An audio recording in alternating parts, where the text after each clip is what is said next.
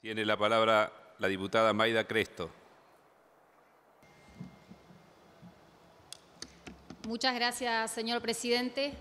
Buenos días, señor ministro. Bueno, voy a tratar de, ser lo más concreta posible porque también tengo dos minutos para, para expresarle dos, dos preguntas concretas. En primer lugar, eh, los entrerrianos queremos saber por qué motivo o por qué causa el Gobierno Nacional no le está pagando al Instituto Autárquico Provincial de la Vivienda, el IAPB, los 420 millones de pesos que le adeuda eh, hoy. Porque el Gobierno Nacional se comprometió, mediante la firma de, de un acuerdo de financiamientos de obra, y hoy al vencimiento de cada certificado no está pagando lo que corresponde.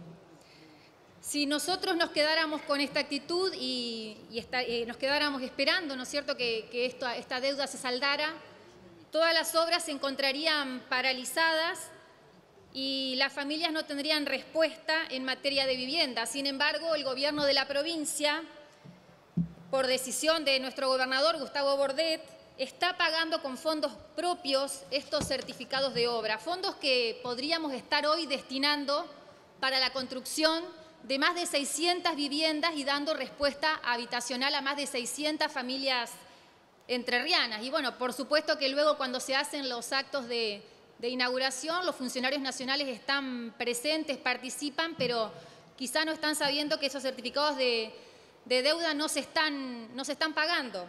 Por eso la, la, pregunta concreta y que los entrerrianos queremos hacerle es, ¿cuál es el real calendario de pagos y de qué forma el Gobierno Nacional piensa saldar esta deuda con los entrerrianos?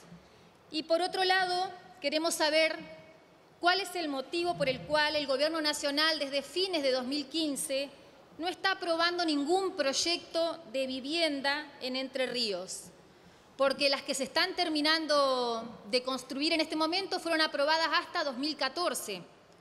Y bueno, por eso esto también genera que las obras se van terminando y los obreros se van quedando con cero expectativa de trabajo, así como también las familias que esperan una respuesta habitacional. Por supuesto que eh, ya sabemos el resultado de lo que significa paralizar la obra pública, sabemos lo que significa frenar la obra pública, eso lleva simplemente a, a, a, frenar el desarrollo del país y de las provincias. Así que, bueno, los entrerrianos queremos saber concretamente eh, estas dos cuestiones, queremos dos respuestas bien específicas al respecto. Muchas gracias. Gracias, señora diputada.